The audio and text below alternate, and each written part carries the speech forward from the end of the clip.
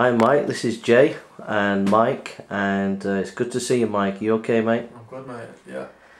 Um, I'm just going to ask you a question. We went down as a team of four Yeah. uh, down to Hyde Park, and uh, just wanted to give your reflections on the journey and all the experience of being there, going there, being there, and coming back. Over to you, bro. Yeah, no worries. Yeah, we went to Hyde Park two weeks ago um, on the train, me, me, yourself, Kieran and Maz. Um, my thoughts on the way down to Hyde Park were the, the fact is I knew that I was going to be in a battle down there with regards to defending the Christian faith. But I felt in my heart it's something that we had to do because right now, every Sunday, the gospel has been attacked, the Bible has been torn apart, and our doctrines are being twisted like there's no tomorrow. And I just feel that someone needs to go down there and explain the true Christianity. Um, there is a lot of well-meaning Christians going down there, but the Muslims are tearing them to shreds because it's it's basically it's just a lack of knowledge on the scriptures. Um, I'm not an expert on the Bible, but I think it's important to study enough to be able to answer the questions and to tear down any arguments that come our way. So, one of the um, biggies down at Hyde Park is, is Jesus God. That was what I found, that was one of the main big conversations that was going on in Hyde Park.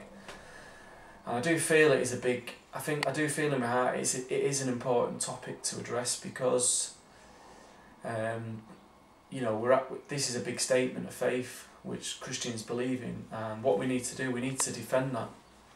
Um, I'm just going to spend, I'm not going to spend a long time um, going into that, but I will go into it slightly, just so other Christians can maybe pick, use this when they go down to Hyde Park.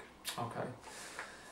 Now, I did find with, with a lot of the conversations with the Muslims, what they do what they try and do with regards to asking us questions, they're always closed questions. So they never ask open questions, and that tells me that their agenda is to shut us down and to make us look stupid. And in their minds, they think they're exposing us. They, they, they believe that what we believe is false and they've got the truth. So they never ask questions that, um, where we can actually open up and explain the truth. So I just want to briefly say um, if you are at Hyde Park as a Christian defending why Jesus is God, and the Muslim says to you, is Jesus God? What, what you need to do is to turn that question around into an open question and say, if you really want to know why we believe Jesus is God, ask the right question, which is, why do we believe Jesus is God? So I'll just briefly explain why we do. Okay. Um, the reason that we as Christians believe Jesus is God is not because he's a man, as some Muslims claim. It's because we are aware of his divine identity, and that is what we worship. It's his identity. Okay. Okay. Now I'll just unpack that for you today. Um, we believe that the revelation of the one true God is Father, Son, and Holy Spirit. Okay. That is Trinity. Okay. Um, now, otherwise known in Orthodox Trini- in Orthodox Christianity, that's the Trinity.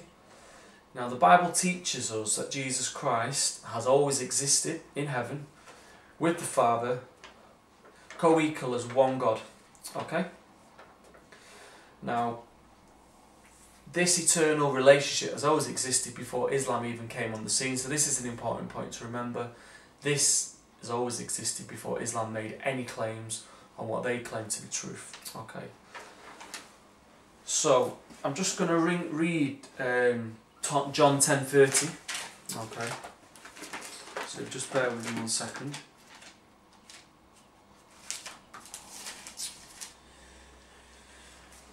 Jesus says in John 10.30, I and the Father are one. Okay.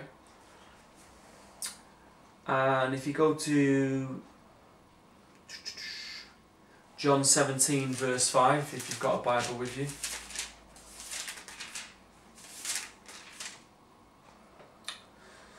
And now, O Father, glorify me together with yourself, with the glory which I had, I had with you before the world was. Okay, so the scripture clearly tells us that Jesus has always been in glory with the Father as one God existing. Okay, And if you go to John 1 1.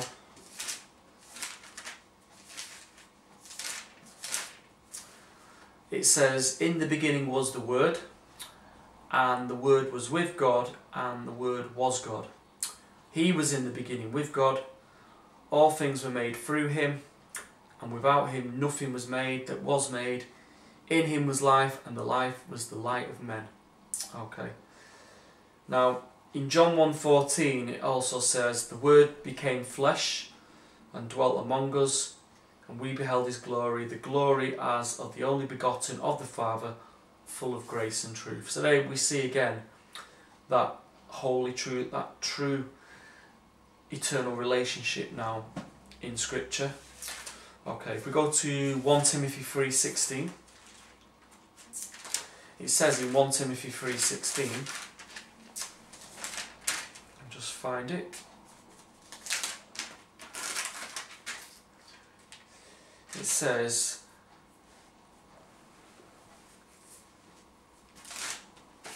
just bear with me one second. Ah, there we go. It says, and without controversy, great is the mystery of godliness. God was manifest in the flesh, justified in the spirit, seen by angels, preached amongst the Gentiles, believed on in the world, received up in glory. Now, as Christians, we know that the one who was preached among the Gentiles was Jesus Christ, seen by the angels, received up in glory, believed on in the world. That's talking about God. Now, I just want to make just want to make this clear to Muslims. If you get to see this video, God, it, the God that we serve is a God of miracles. If He decided that He wants to enter His own creation through the person of Jesus Christ to give us salvation, He can do so. And mighty He did so. Okay, we don't limit God. We don't say He's three gods. We don't say the Trinity, the Father, Son, Holy Spirit is is separate. No, that is the revelation of the one true God. Okay? And the scripture is very clear about that. Okay? So, the scripture is very clear about who Jesus is and his identity. I've got many more passages, but there's just a few to start off with. Okay?